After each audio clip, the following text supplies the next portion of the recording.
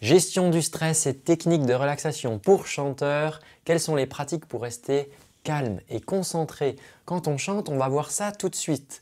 Salut, moi c'est Antoine, je suis coach vocal, formateur de coach vocal et je partage toutes les semaines sur cette chaîne YouTube des conseils pour les chanteuses et les chanteurs qui veulent développer leur voix. Alors juste avant de démarrer, je te propose euh, un cadeau de télécharger avant qu'on arrive à la fin de cette vidéo et puis que tu, zappes. Euh, c'est justement une vidéo de relaxation. C'est un outil de, de relaxation que j'aime bien utiliser avec mes élèves pour t'aider à gérer ton stress en moins de 5 minutes où que tu sois. Donc si tu veux le récupérer, tu peux le télécharger gratuitement en cliquant dans la description juste sous cette vidéo ou sur le lien qui s'affiche sur le côté. Tu peux le charger déjà dans un onglet si tu es sur un ordinateur et poursuivre le visionnage de cette vidéo. Alors, euh, la méthode que je veux te proposer, c'est une méthode qui est euh, facile, facile à mettre en œuvre, qui est entièrement gratuite, 100% gratuite, qui a pas besoin, qui nécessite pas de matériel et qui nécessite pas non plus de substance. D'accord? Je vais pas te dire de prendre telle euh, ou telle substance pour gérer ton stress. Faut comprendre qu'en tant que chanteur, en tant que chanteuse, c'est tout à fait normal d'avoir du trac, d'avoir peur de la scène. D'accord? C'est l'une des sources les plus communes de stress chez les chanteuses et les chanteurs, y compris les chanteurs professionnels. Il y a des chanteurs professionnels qui vomissent encore avant de monter sur scène. Et pourtant, tu ne le croirais pas, ils remplissent des zéniths, ils remplissent des, des, Bercy, d'accord? Mais ils ont encore ce stress à gérer. La peur de se produire en public, ça peut entraîner de l'anxiété et ça peut entraîner ben, les symptômes physiques, comme je t'ai indiqué, mais aussi des tremblements ou une voix instable et du coup ben, affecter négativement, bien évidemment, la performance. Euh, les exigences vocales aussi physiques, euh, les longues heures de répétition, d'accord, les longues exigences de performance vocale soutenue, les tournées, ça peut être physiquement épuisant, d'accord Ça peut être aussi la peur de ne pas répondre euh, aux attentes vocales, de subir des dommages vocaux, ah là là, je me suis abîmé la voix, tout ça, ça peut être des sources de stress. les critiques, les jugements, euh, les chanteurs, ils sont souvent soumis à des critiques publiques sur les réseaux sociaux, les haters, que ce soit par des professionnels, par des, par des fans. La peur du jugement, elle est quand même à peu près toujours là, d'accord? Et ça, ça peut être aussi une source importante de stress. C'est pour ça que c'est important, si tu veux, qu'on apprenne ensemble là à mieux gérer ce stress, parce que ça va te servir à tout point.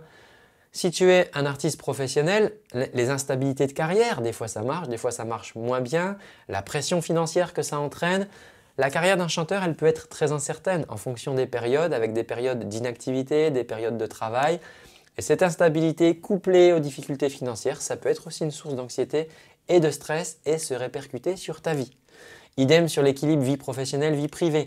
C'est difficile et exigeant de maintenir un équilibre entre la carrière, la vie sociale, ton temps personnel et alors notamment pour les chanteurs qui tournent fréquemment, qui font des voyages, qui sont en déplacement, qui ont des horaires irréguliers, qui ont du décalage horaire. Et ça aussi, ça peut gérer du stress.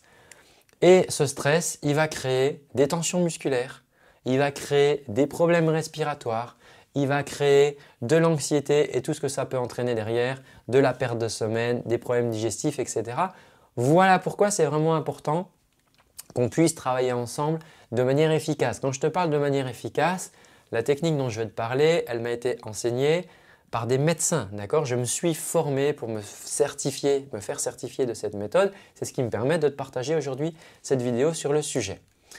Euh, on va parler en fait de peut-être de quelque chose dont tu as déjà entendu parler, mais qui est vraiment intéressant et qu'on appelle la, cohérence cardiaque. Il faut comprendre que tu as euh, un système nerveux qui est découpé d'accord, en, différents étages. Tu as un système nerveux autonome, ça c'est celui qui fonctionne tout seul. Et puis, donc, tu as ton système digestif par exemple, il fonctionne tout seul. Tu n'as pas besoin de penser euh, qu'il faut que ton estomac digère. d'accord? Et puis, tu as le système nerveux euh, conscient, le système nerveux auquel tu as accès, c'est-à-dire je veux euh, prendre cette tasse, ok, bah, je, je, vais penser que je vais contrôler cette tasse. Et il se passe que les scientifiques ont et en fait, les anciens ont découvert ça il y a des milliers, d'années, d'accord Mais les scientifiques ont mis un nom là-dessus finalement que assez récemment, qu'on allait pouvoir jouer sur ce qu'on appelle la variabilité cardiaque pour avoir une réduction du stress et améliorer de manière importante la concentration. La variabilité cardiaque, simplement pour la définir, ce n'est pas le rythme cardiaque. La variabilité cardiaque, c'est euh, la manière dont ton cœur va battre. C'est-à-dire que Si on dit que tu as un rythme cardiaque de 60 pulsations par minute, ben en réalité, dans la minute, tu ne vas pas avoir une pulsation toutes les secondes. Tu vas avoir des fois des pulsations rapprochées, des fois des pulsations plus larges, etc. Et ça, on va appeler ça la variabilité. Et quand on parle de cohérence cardiaque, en réalité, ce qu'on mesure et ce qu'on, la chose sur laquelle on joue, c'est la variabilité cardiaque. Il faut comprendre qu'il y a un des systèmes nerveux auxquels on peut avoir accès, et ça c'est fabuleux, qui est le seul d'ailleurs, hein, qui est à la fois piloté de manière automatique et que tu peux piloter toi-même. C'est-à-dire que mes intestins qui, sont pilotés en, mode automatique, je ne peux pas décider consciemment de le faire. Mes mains, dont j'ai conscience que je peux les utiliser, elles vont pas se mettre à, fonctionner toutes seules, d'accord, de manière automatique. Mais il y a une chose qu'on peut, euh, qui joue sur les deux tableaux, c'est la respiration. C'est-à-dire que la respiration, elle se fait de manière automatique, mais je peux aussi prendre le contrôle sur ma respiration. Et je pense que tu as déjà éprouvé le fait que quand tu es stressé, tout d'un coup, il y a ta, respiration qui se coupe, tu as le souffle un peu plus court, tu vas te mettre à respirer plus vite ou tu as le cœur qui commence à battre la chamade. Et ça, tu le subis, d'accord? C'est une réaction, un réflexe au stress. Mais la cohérence cardiaque, c'est de dire, ok, si je prends le contrôle de ma respiration et si j'en prends le contrôle d'une certaine manière, je vais pouvoir réenvoyer des signaux des signaux électriques euh, à travers différents phénomènes, mais on va raccourcir des signaux électriques au sinus cardiaque, un petit peu le pacemaker naturel de notre cœur. Et je vais pouvoir envoyer ces signaux qui vont permettre de réguler, d'améliorer la variabilité cardiaque et du coup d'améliorer ton état émotionnel et de faire baisser le stress. Et ça, c'est vraiment euh, important. Et cette technique de respiration qu'on va pouvoir utiliser, c'est une technique de respiration qui permet d'avoir six cycles respiratoires par minute. Un cycle respiratoire, c'est quoi? C'est une inspiration, c'est une expiration. Donc ce qu'on veut, c'est avoir six cycles inspiratoire-expiratoire par minute. Et ça, ça correspond à quoi? Ça correspond à inspirer pendant 5 secondes et ça correspond à expirer pendant 5 secondes. Ce faisant, au bout de quelques minutes à peine, et de plus en plus rapidement à force de t'entraîner, tu vas pouvoir atteindre cet état de cohérence cardiaque, qui est un état régulateur dans lequel tu n'es pas euh, euh, suractivé euh, le système parasympathique ou sous-activé ou, suractivé le, sympathique et le parasympathique, pardon. Et on, atteint cet équilibre en fait de, ok, je suis dans une zone de, clarté mentale, je suis dans une zone de stabilité. Euh, et ce que je t'explique là, euh, les chanteurs ne sont pas les seuls à les expliquer, pour te dire, l'armée utilise ça avec les soldats. Pourquoi l'armée utilise ça avec six pilotes d'avion? Pourquoi? Parce qu'un pilote d'avion, c'est quelqu'un qui est aux commandes d'un appareil qui va très vite, et donc s'il est sous stress et qu'il fait une erreur de pilotage, bah, potentiellement il peut s'écraser sur une ville et puis euh, avoir beaucoup de dégâts. Mais c'est aussi quelqu'un qui peut appuyer sur des petits boutons et parce qu'il est armé. Et on n'a pas envie, personne n'a envie qu'un pilote de chasse soit en stress aux, manettes de son avion, qui gère pas ses émotions et qui fasse n'importe quoi avec ses boutons. Sauf que on n'a pas envie non plus qu'il prenne des médicaments. Tu sais que les médicaments là qu'on prend, qu'on peut prendre des fois, c'est marqué dessus. Attention, euh, en prenant ces médicaments, vous n'avez pas le droit de conduire. Ok, bah, imagine un pilote d'avion euh, qui va prendre ses médicaments. Bah non, si on n'a déjà pas le droit de conduire une voiture, c'est pas pour conduire un avion. Donc l'armée s'est énormément intéressée à cette technique de cohérence cardiaque parce que comme je te l'ai dit, c'est gratuit et c'est sans substance, c'est-à-dire qu'il n'y a pas d'effets collatéraux. Maintenant, pourquoi cette technique n'est pas si répandue que ça? Euh, Parce qu'en en fait, il n'y a rien à te vendre, hein. il n'y a, pas de, produit euh, à te vendre. Simplement, tu peux prendre ta montre ou tu peux prendre une application euh, et tu vas pouvoir faire cette respiration euh, de 5 secondes, 5 secondes. Alors, les conseils sur le moment idéal pour pratiquer la cohérence cardiaque, ça va être quoi? Si tu es de nature à être plutôt stressé, anxieux, moi je t'invite à le faire euh, trois fois par jour. Ça va être au réveil, la première, quand tu vas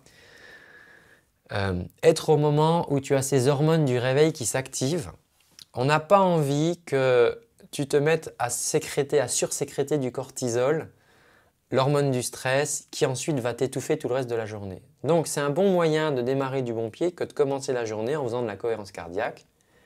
pendant 5 minutes. 5, 5, 5. T'inspires pendant 5 secondes, t'expires pendant 5 secondes et tu fais ça pendant 5 minutes. tu fais ça le matin. Ensuite, tu peux faire ça juste avant de déjeuner, le midi, et tu verras qu'en plus, il y a des super, euh, des super euh, euh, impacts positifs par rapport à la satiété. Ça t'évitera de te venger un peu sur la nourriture.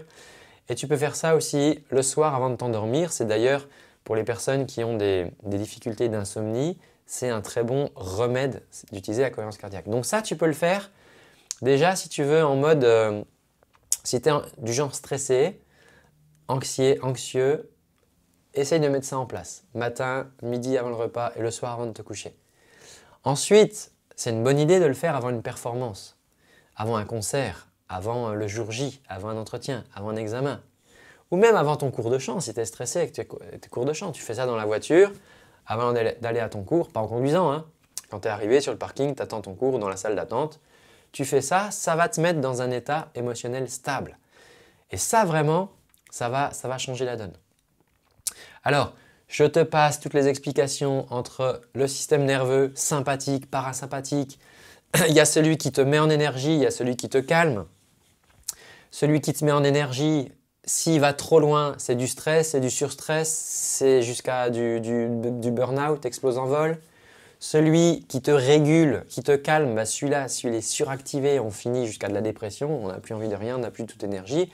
Et donc on a vraiment besoin, ça sont les extrêmes, mais on a vraiment besoin de réguler ces deux systèmes. Il y a des déclenchements hormonaux qui sont à la clé et pour te faire le raccourci, la cohérence cardiaque permet de restabiliser en fait ces deux systèmes-là. D'accord? Et plus tu vas le pratiquer, plus tu vas atteindre cet état de cohérence cardiaque facilement et rapidement. Et tu vas même pouvoir le faire comme ça dans ta journée ou en pause ou même pendant une réunion, pendant un entretien, à un moment où tu te sens pas bien, tu, ok, tu commences à te réguler en utilisant ça. Et pour un chanteur, c'est quand même génial parce que plutôt que d'utiliser de, l'alcool ou d'autres produits, pour se déstresser, des chanteurs qui me disent Ah ben tu sais, moi je bois un coup puis ça va mieux. Ok, mais quand tu bois un coup, tu altères certaines facultés mentales. Il faut, juste en avoir conscience. La cohérence cardiaque, c'est vraiment un moyen qui est facile à mettre en œuvre, qui est gratuit et qui est prouvé scientifiquement, d'accord? Qui, qui, a, qui a des vrais résultats. Le mieux, si tu veux, moi, c'est je t'encourage à le tester. Ok? Je t'encourage à le tester, teste pour toi, vois ce que ça donne. Si ça ne te parle pas, si tu as l'impression que ça ne fonctionne pas, tu laisses de côté. Si à l'inverse, c'est quelque chose qui te, parle, alors dans ce cas-là, mets en place cette routine pour t'aider à réguler ton stress et tu vas voir que ça va tout changer à ta vie de chanteuse ou de chanteur. Voilà, j'espère que tu as apprécié cette vidéo. N'hésite pas à la partager à tes amis s'ils peuvent avoir cette difficulté euh, du stress. Euh, télécharge aussi le cadeau dont je te parlais, ça se trouve juste en dessous dans la description. Si justement tu veux pouvoir euh, ben, pratiquer de la cohérence cardiaque, tu vas pouvoir télécharger une vidéo qui va t'aider à le faire. Moi, je te donne rendez-vous dans un prochain contenu et d'ici là, eh bien, prends bien soin de ta voix. Ciao